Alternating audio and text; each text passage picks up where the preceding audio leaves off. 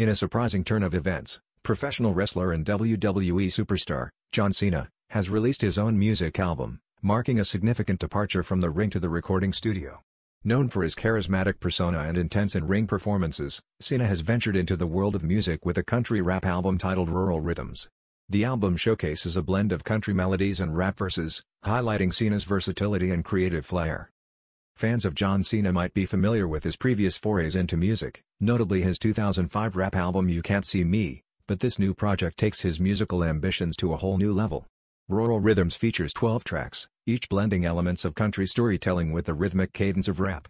Collaborating with well-known artists in both genres, Cena has managed to create a unique sound that appeals to a broad audience. Cena's transition from wrestling to music has been met with both excitement and skepticism. However, early reviews of Rural Rhythms have been largely positive, with critics praising Cena's lyrical prowess and the album's innovative fusion of genres.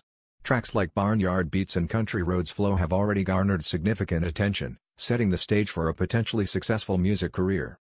This latest endeavor adds another dimension to John Cena's already multifaceted career. Whether he's dominating in the ring, starring in blockbuster films, or now, dropping beats in the music studio, Cena continues to prove that he's a force to be reckoned with in the entertainment industry. Fans eagerly await to see what this multi-talented superstar will conquer next.